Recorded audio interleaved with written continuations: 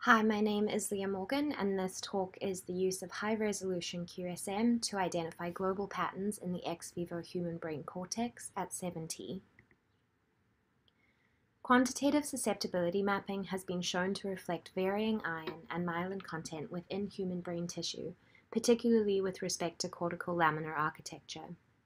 Subtle magnetic susceptibility variations within the tissue accrue to the MRI phase and can be quantified by QSM methods through deconvolving the phase signal.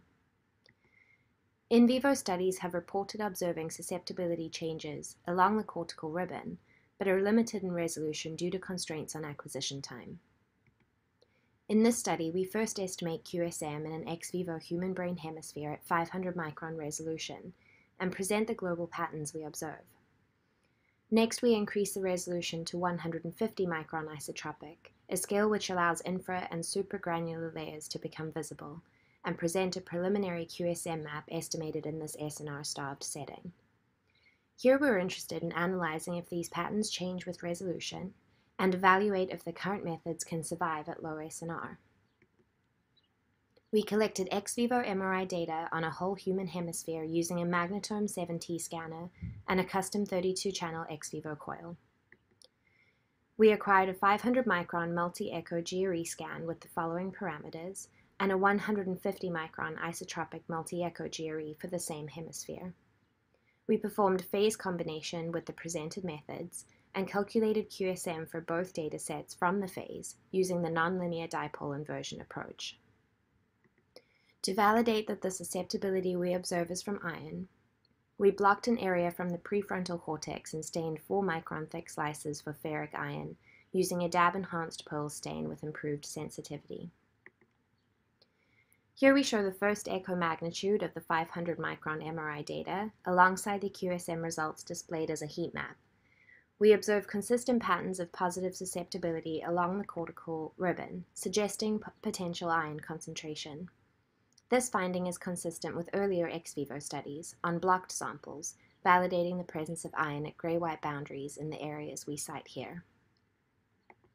We chose to validate our findings in another region than previous studies, that is the prefrontal cortex. Here we show the MRI data, QSM, iron-stained histology, and tissue block for that region. Areas of positive susceptibility in red are well correlated with iron stains in brown, particularly in the areas where black arrowheads indicate.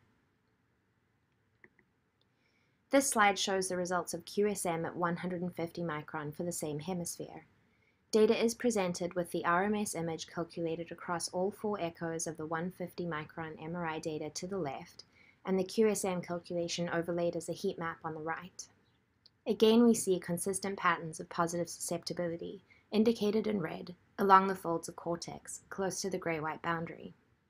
This is synergistic with the 500 micron result, despite the low SNR setting. The same pattern is visible in the tissue phase map of the axial slice.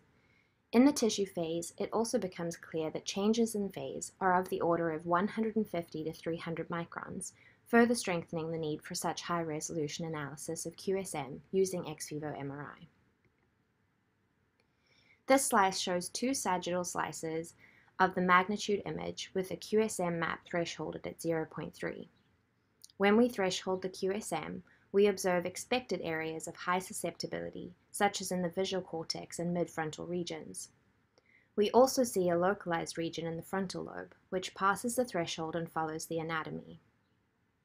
Future directions will include performing surface-based analysis on multiple human brain specimens to validate the consistency of the QSM maps across the cortex, particularly within the frontal lobe, and to improve the SNR of the 150 micron result.